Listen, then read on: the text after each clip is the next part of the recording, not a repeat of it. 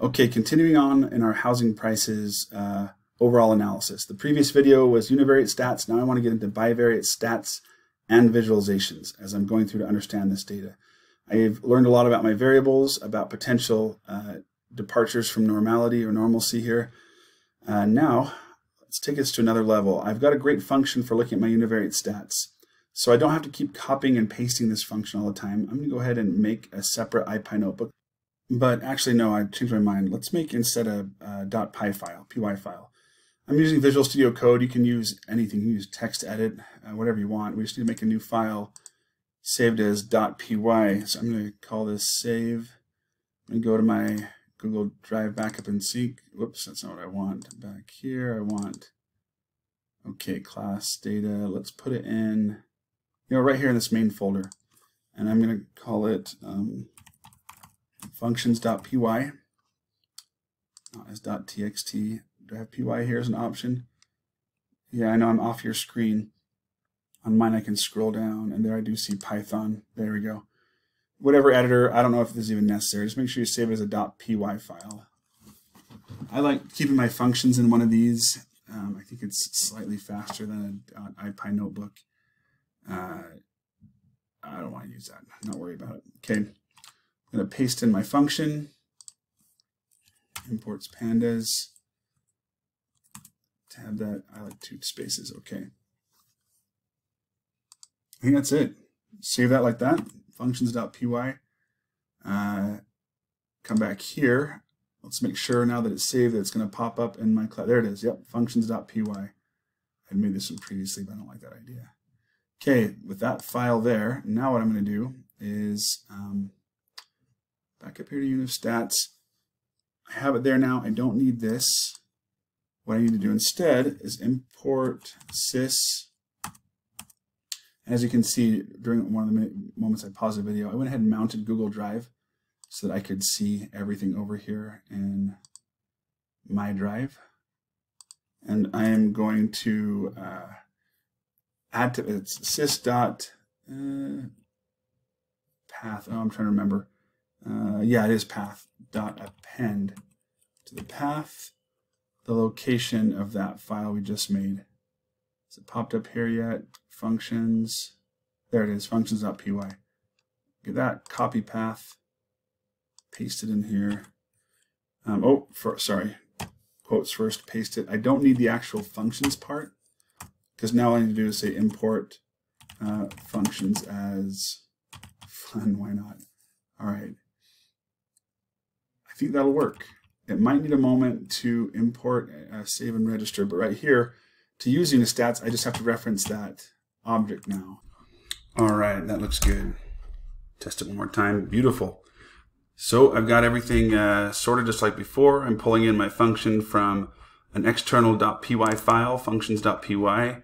Uh, like a, uh, I'm going to keep this function here instead of putting it in the file because it's specific to this project in this data set. Uh, so I'll just keep it stored here in my housing prices. Whereas that other Unistats function, I really made it in a way that I can use it anywhere. So I'm going to keep it there uh, separately. All right, time to move on to bivariate stats. So this is often one of the uh, overlooked steps uh, when people are in a hurry to get right into their projects. I I like performing it anyway, primarily for the visualizations, um, but I'm going to run the stats as well uh, because this is something we've been learning and going through, and it's uh, still quite useful to see a comparison of what we're going to what we're to learn from this is uh, based on a bivariate analysis of all of these factors, which of them have the strongest correlation or strongest relation or effect on sales price or label when we're just looking at bivariate relationships. So remember, uh, at this point, if I were to look at the effect of, for example, first floor square footage on sales price, it's ignoring the effect of all these other variables in a bivariate statistic. So uh, there's other reasons too why this will be useful when we set up a machine learning pipeline, why it's useful to see the difference between bivariate stats and the order of importance of those variables versus a multivariate analysis. So let's go ahead and run this. I'm going to bring in some functions I've already created for the three main types of bivariate stats that we do. So as a reminder here, uh, for bivariate, when we're analyzing the effect of a numeric to numeric variable, that means we're looking at correlation. Uh, Pearson correlation, assuming they're both um, uh, uh, normally distributed.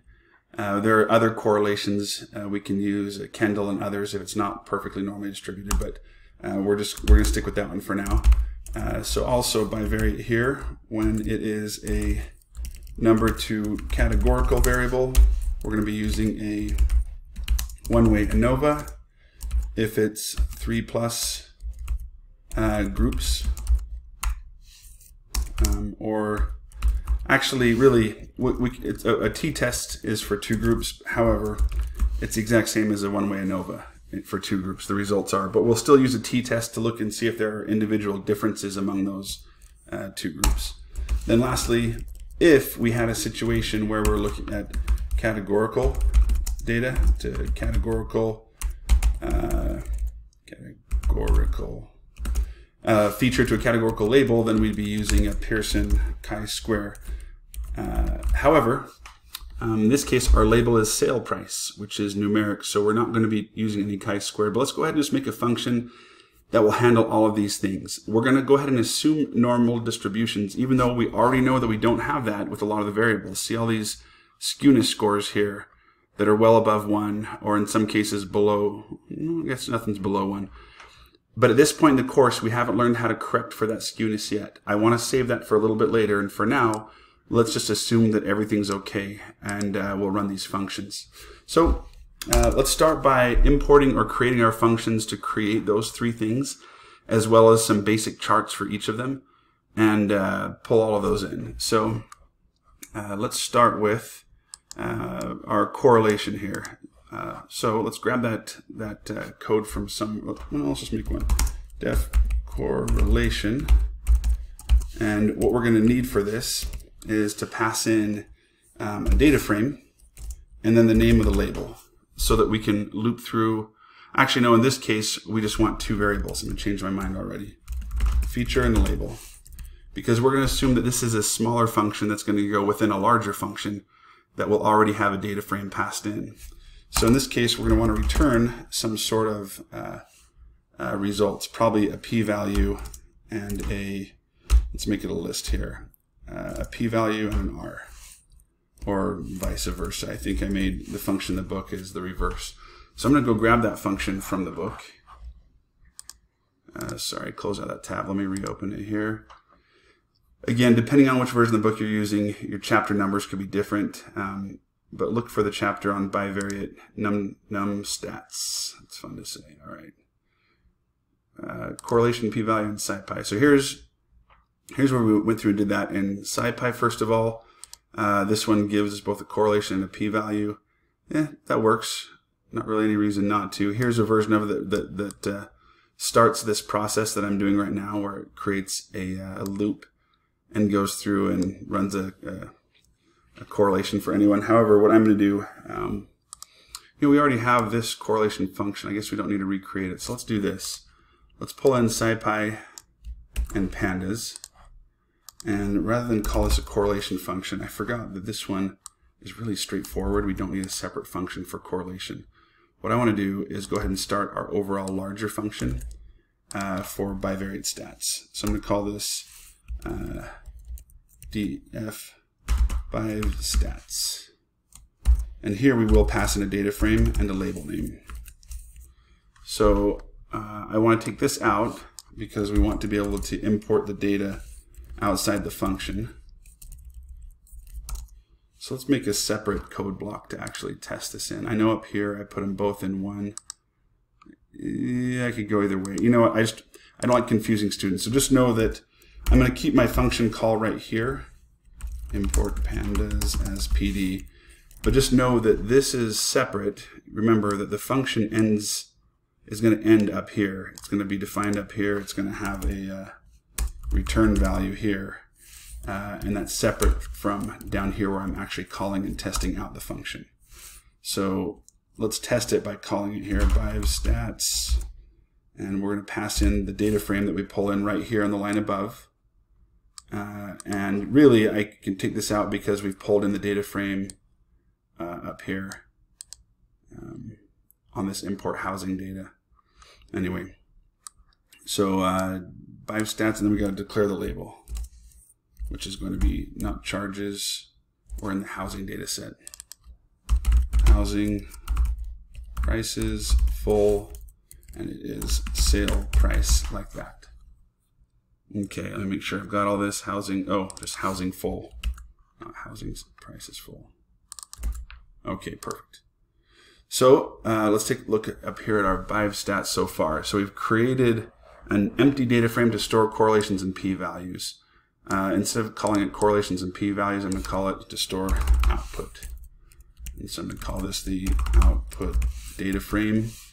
For now, I've got R uh, and p values. So we, if we want this function to work for all three of these contexts above right here, then we're going to need to potentially have R. Uh, we'll call this F for an ANOVA. And then our chi-squared, oops, uh, then our p-value.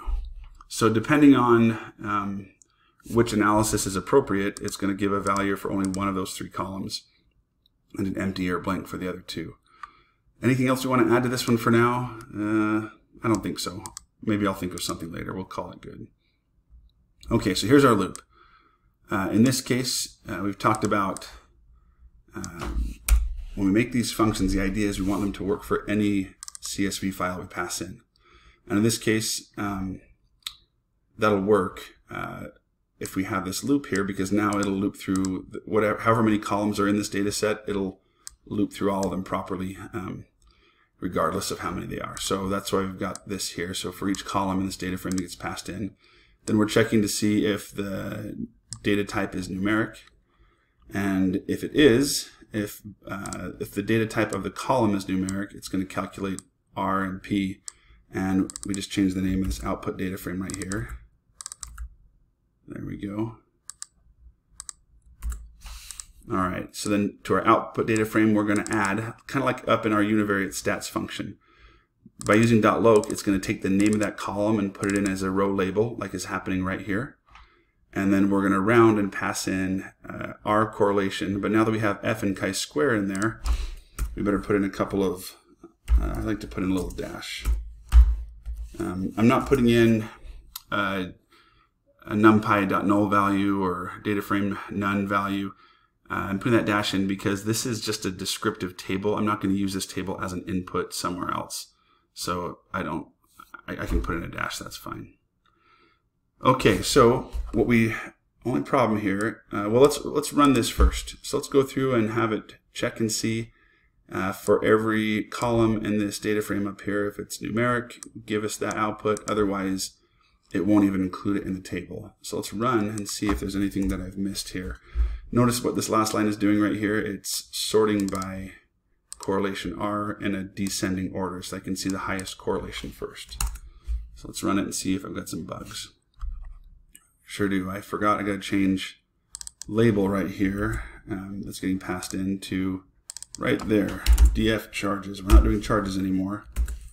I'm putting in the variable label. So that way down here when I call the function and I pass in sale price, uh, it's going to pass sale price in here and then it'll automatically use whatever label name when I call this function. It'll automatically put it right there as the first variable and then whatever column I'm currently looping through as the second variable.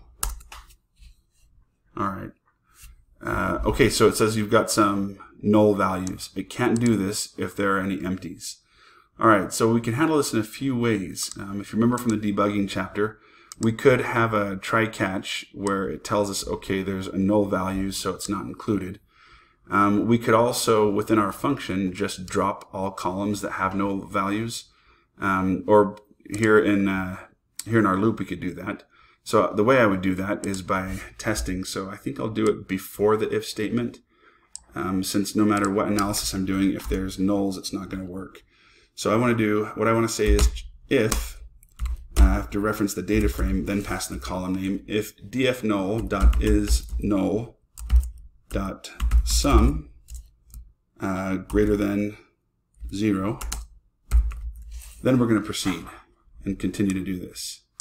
If not, hmm, well, how about let's give them a message so they at least know why we didn't include a correlation for that particular column.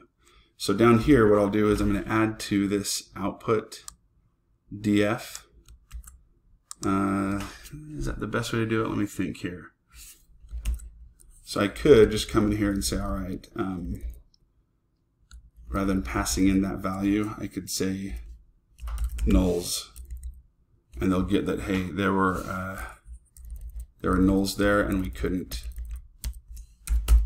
uh, we couldn't do anything about it. And I guess technically, if it's at this level, it's not going to go just in the correlation one. I'll just put it. Uh, actually, I think I like putting in the p-value. I mean, that's where I'll put it. Because that way it doesn't matter whether the data type was meant to be, uh, you know, categorical to number, number to number, categorical to categorical. It'll, it'll give us that message regardless. Okay, so let's run that.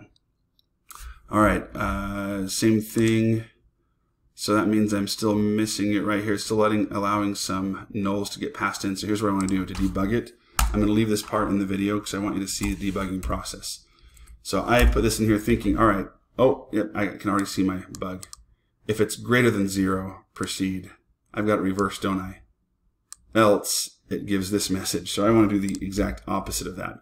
What I was going to do to debug is just print out the value of this sum right here and see what it was but I can already see my problem. I just got to reverse that. If it's if it's not greater than zero, so maybe I can say if it's just equal to zero, then proceed. Otherwise, uh, don't. Oh, Python, I forget. Double equals. I'm not assigning it a value of zero. I'm checking to see if it's zero. Okay, perfect. So I'm moving along here, and now I've got this one. It says basically what this means is I it can't do a sort if some of the values are text and other values are numeric. It's, or it has to either treat them all as text or it, it can't convert these ones to numbers. So I can't use my dash anymore like I thought I might want to. So here's what I'll do instead. Let's change this dash to what's called an np dot uh. This is a, a, not a number and it's a it's a data type um, from uh, NumPy import. So I'm going to import NumPy now as np. And from here on out, if something, if I can't calculate it, we're going to call it uh, numpy null. So I'll use that in place of all these dashes. Yeah, so I have to take back what I said earlier. So if we run that, um, sort values by R, the other problem to run into, next let me show you here. So this works, however, it's not sorting it well for a couple of reasons. First of all, sort values, uh, this is happening on a copy of the data frame of output df, not on the original. So I can do a couple things. I can just say in place, oh, I can't do in place with sort. But what I could do is switch this and use it here in my return statement because now it's going to return the copy instead of the original. And that's fine because the copy is being sorted. So I can do that and it'll work. But here's the problem I get. Look, it's sorting negative 0.136 as below these values. But with a correlation, remember, it's not about how high or low it is. It's about how far away it is from zero and close to one or negative one. So what I really want to do is sort by the absolute value of correlation. So we can do that. Uh, let's come in here and change. You know, I really think what we could do is just say ABS right here on column R. Let's see if that works for us. Uh, no. What? So let's search for it. So what I want to do is find. Uh, I want to show you my process again when you run into a bug and how to fix this. Uh, this is one of the toughest. If my students can just learn how to solve these types of problems on their own, that's half the battle. So knowing what to search for, I'm going to say um, sort by uh, the absolute value of a, oh, right there, of a data frame column. Perfect. Already been searched for by someone. Sorting by absolute value without changing the data. Exactly what I want. So here's someone's example here of a very simple data frame. I'm guessing they want to sort by column B. This person says, here's what you do is data frame.reindex and use data frame dot looks like column name dot absolute value dot sort values dot index. All right, we can do that. I'm gonna grab that right there copy it over to my code and uh, I'm to put it right here for now because I don't want to lose what I've got here just so I can look at it at the same time and make sure everything looks right. So there's what I was doing before. Here's what the example is. So now what I want to do is apply what I saw in that example to my own code that I'm using right here. First of all, my data frame is called output df. So I'm to change that right there, right there. My column name is R. So I'm going to change B to R. And remember, I'm getting R because my column is created right there. So dot ABS, that's what I want. Dot sort values, yes. Uh, dot index, so it's going to re-index, I guess, based on that. Hmm, that'll work for now. Uh, I'm going to leave this in here just in case we need to come back to it later on. All right, let's run that. Looks good. The only problem is it's still ascending. So I've got my highest here down at the bottom. So let me, oops, let me change this. I just got to add in my ascending equals false in here to the sort values. And I also notice I've got a perfect correlation of 1 because I left sale price in there. So uh, let's go ahead and get that out of there. There's no point in having that. So I'll add an if right here to get rid of if not col um, equal to label. So basically that's saying don't run this loop is if as I loop through the data frame, as soon as I get to the column that is also the label name that was passed in, don't bother calculating an effect size for itself. So that'll ignore that. That'll set my uh, descending. And then of course it hangs. There we go. Okay. All right. Over uh, order of importance in terms of correlation. Uh, overall quality, the biggest factor. Total square footage, that makes sense. Garage cars. So remember, this is correlation, not causation. And the other issue is that many of these correlations are highly intercorrelated. So as a reminder of what that what I mean by that problem, uh, let's pull this up right here. Uh, correlation ignores all the other variables and it's giving you a measure of effect size between the label and that particular feature. It doesn't understand that there's actually quite a bit of overlap between age, education, work experience, and that the true measure of one of these is just this part, this slice right here. The true effect size is just this part that's not overlapping with the rest of them. So again, the, the downside or the limitation of this bivariate analysis is I don't know how much of this correlation right here is also captured or covered by the rest of these. But it's a nice quick and dirty first glance at what's most important. So our p-values all along here are zeros. Um, here, as we get to some smaller correlation sizes, this makes sense. As the correlations get smaller, uh, the actual p-value or likelihood that what we found was due to chance also gets higher. So here we're still below 0.05, 0.05. We're partially significant here, but um, I don't put a whole lot of stock into p-value. I care a lot more about this effect size measure. But you can see as it gets bigger. Uh, what, what do I think? I actually think I want more than three decimals because I've got so many that are zeros. I wouldn't mind just seeing a few more decimals on that p-value. Don't really need it with the correlation, I think, but the p-value would help. Oh, yeah, then I'm getting into um, scientific notation. You know, I want to get rid of that. Let's search for um, uh, eliminate scientific notation Python. Perfect, beautiful. Let's find how do I suppress this in Python? Um, you need to manage precision yourself. This is based on votes. Looks like I use percent %f or dot format, or I can use this string right here. I think I like that one better.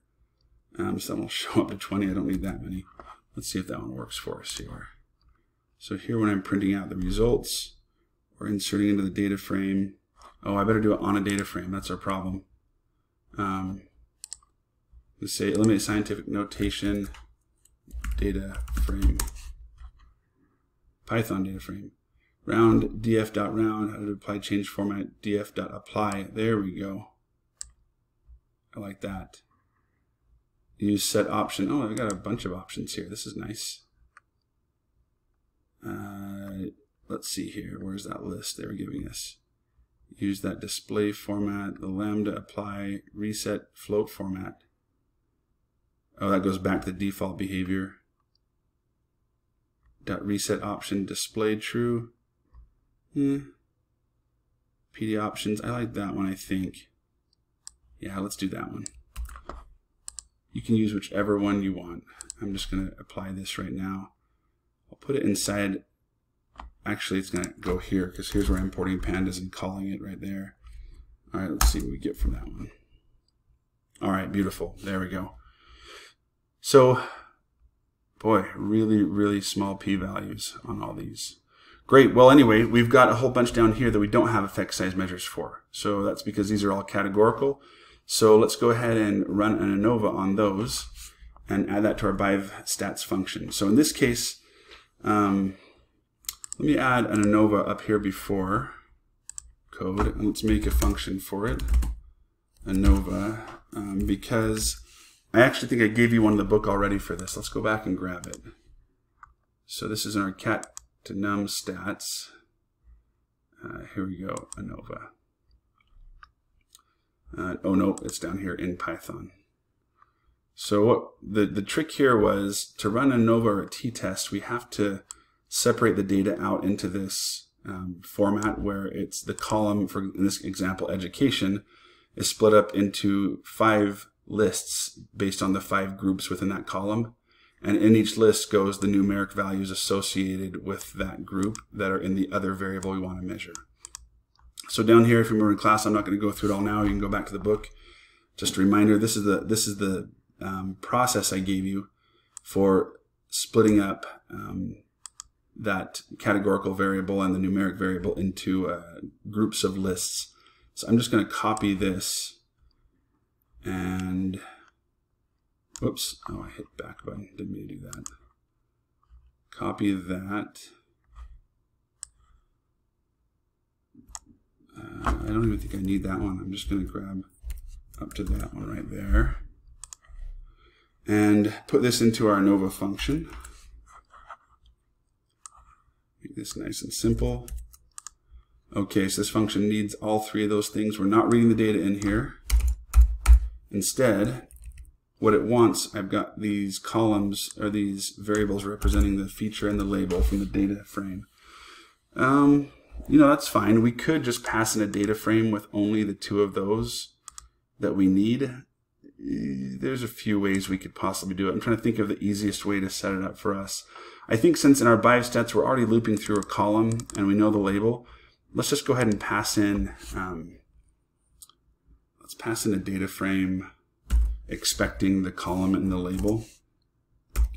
And uh, yeah, all right, well, I guess we can do that right here. So this will be the, the label and the data frame. We can, we could just have only those two columns or the entire data frame. Eh, I don't want to, I don't want to waste time. Yeah, let's do that. So let's pass in a data frame of just the one that we need to be quick, but we're still going to need the column name along with the label if I want to just use this code as it's, as it's already uh, created right here. So I'm going to get rid of that. And I already have col and label built in here where I go through and I group the column. This is going to be the categorical feature. I think I want to I think I want to go ahead and change it to feature because I'm only going to call this ANOVA if the feature is categorical. So I'm going to plug feature in right there and right there. Label is used already right there. And group labels is created there. I think that's going to be all we'll need. So rather than store the results of this one-way ANOVA into the variable one-way, how about we just return those results right there. And we can get rid of all these. I'm assuming you already remember this process, or you can go, you're going to go back through that video if you need it. So I'm just going to keep things simple and get rid of all those. Um, we also don't need all of our print bys. This is what we did in class to understand what was happening here in this bit of code. I think that's it. Let's run that. And let's call it now down here where we need it. So as I'm going through for each column in the data frame, if it's not the label, and if it's not null, then if it's numeric, do this. So here's where I want to add an else. If it's not numeric, then uh, we're going to pass in or call, uh, let's see here, f comma p, and that's going to equal ANOVA, and we're going to pass into that ANOVA. Rather than passing the whole data frame, I'm going to filter on that data frame and pass in only um, the column that we're on and the label. just to make it a little bit faster. So that way when I pass those in, it already has col and label defined there, but I'll need to add in the name for col and the name for label right there. Cool, I think that, that'll work. I'm getting col from right here in the loop. I'm getting label from what was passed in right here at the very beginning. Okay, next, let's add in uh, the actual one-way ANOVA results. Sorry about that. Back here, I'm going to copy this. Put it in right there. Let's change uh, now the first uh, in the when we add this a record for ANOVA, the first thing that goes in will be one of the nulls. The next thing that goes in will be the F score. Then followed by another null, then the p-value. Perfect. All right. I think I'm going to change a couple of other things here. Okay. So now that we've got that in there, let's run and just test to make sure it works. Okay, perfect. Still sorting by R, but now our F scores are showing up down here. Let's, uh, next, what I want to do is I want to sort by, let's see, a few things. I want to get rid of the count, th these ones where it's all null. I'm going to move those to the bottom. Sort by the F score. Um, yeah, let, let's sort by both. So which means I, I can't really use this anymore um, because this is going to reindex just based on one but I still want the absolute value of r. So I got I have an idea. Here's what I want to do. When we input r, let's add another let's add another column here called uh, yeah. Let's do it by. I think I'm going to change this r to um, stat. Again, this is all just personal preference. You can do anything you want here. And then what I want to put here is, uh, I'll do plus or minus, and then on this one I want effect size so that they're all in the same uh, column. Yeah, that may or may not be a good idea actually because then I get F's and R's in the same one. No, I can make I can make that work. Okay, so then down here, the stat that goes in, I'm going to call this r. And then the plus or minus is going to be the direction of my r coefficient.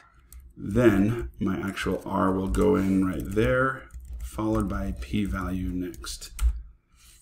Okay, so here for direction, uh, I want to find out, uh, what I'll do is go to Google and say, um, get the sign of a number in Python you couldn't see that, but get the sign of a number. Oh, perfect, sign. That makes it super easy. So let's come down here and put sign of, and then let's pass in R. And then we'll put in the R value itself, but in this case, we're going to put the absolute value of R. So that way we can still sort by R plus something else, but keep the sign separate and know when it's a negative correlation. Then there's our P.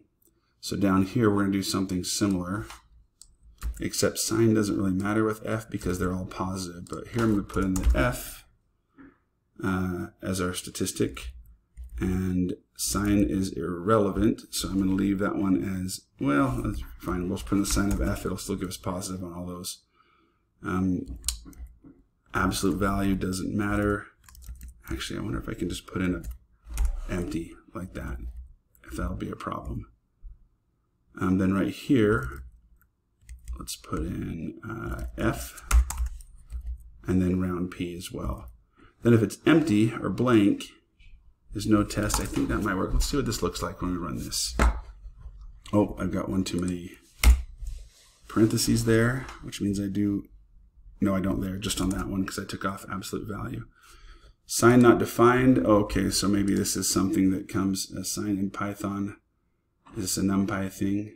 NumPy.sign. Yep, there we go. So we change that to np.sign. Let's see if it likes that now. Data frame has no attribute r. Oh, correct. So down here, we got to change this as well now. So what I want to do here is say output data frame. Uh, and this time we're going to do run sort values by again. And this time we're going to put in, uh, let's start with, um, well, either one, r, then f, and then out here, we're going to say uh, ascending equals Uh, let's see, is it false for both of them? Now that we have two, we can we can add in a different, you know, ascending for both. Yeah, I guess it's false for both of them. Oh, that's fine. Let's leave it like that and run. Uh, key error R. This is here still on our five stats. Is it on our still on our output? Yeah. Is R not? In, oh yeah, I got rid of R, so I'm not sorting on that.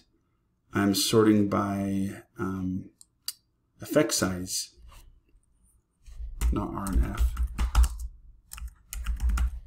Effect size, and then which stat it is, because I want to keep those separate. I might want to reverse that actually here in just a second. So here we've got our plus minus, oh, our stat is F here first. Oh, I see. So we've got all of our F scores. Perfect. So exterior quality is gigantic. Kitchen quality, yeah, actually that makes a lot of sense having bought and sold a bunch of houses. Um, if there's a foundation problem, I wonder if that's what that is. But those are clearly hugely uh, have gigantic effect sizes. So I think what I'm going to want to do on those is take a look at my visualizations, my bar charts, and see which values of exterior quality and kitchen quality and foundation. All of these were these gigantic F scores. I want to see which values seem to matter the most because I might be able to recode my data in a way down the road. I won't do that in these videos, but in a way that uh, simplifies some of those measures. So let's come down here. Looks like sign is not what I was looking for. Oh, I see. It's got the negative here. I don't want to print the one. Eh, well, it, it works, I guess. So these are my positives but then it restarted by my negatives. No, I see. Here's my, here it is. So my largest negative effect size was this one right here. Kitchen above garage. People don't like that. Oh, no kidding. I don't blame them. If that's what that means. So it's saying this has a negative effect and it's larger than this positive effect of having a porch screen or a pool area. So it is sorting properly with the highest correlations or the furthest from zeros are highest on the list. Um, but I'm not sure how much I like this column right there. I wonder if I can return the sign without the one. That's all I really wanted. Uh, but for now, I'm going to call it good. I'm sure you could. Uh, no, maybe I'm changing my mind already. Return this. Is there a quick way to get just back the sign? No, it's going to give me the one no matter what because I'm formatting it that way. Yeah, I'm going to call it good for now just because I want to move on. But what this what this bivariate stats has told me is that I, I first I really want to look into these ones that are big, like overall quality, total square footage. Um, I'd like to see, or at least have a reminder of of uh, how normal those things are. So I could come up here to my univariate stats and find overall quality, but look, I've got it sorted by skewness, kurtosis. So I might prefer to sort that by, here's overall condition. Actually, I'm good on that one. That helps. Total square footage. Where is that one at? Total square footage right there. That one does have some minor skewness, right skewed problems. All right, so those are my big, my variables that seem to matter a lot, but I've got some potential problems with those. So I better take a look at the scatter plots, um, especially of total square footage, uh, to see if we're going to have any issues. And then up here, I want to see the bar plots and the t-test to see what are the values of exterior quality, kitchen quality that are really driving this huge effect size. So that's the role of my visualizations next. So let's end this video for now, and then let's make some bivariate visualization functions next.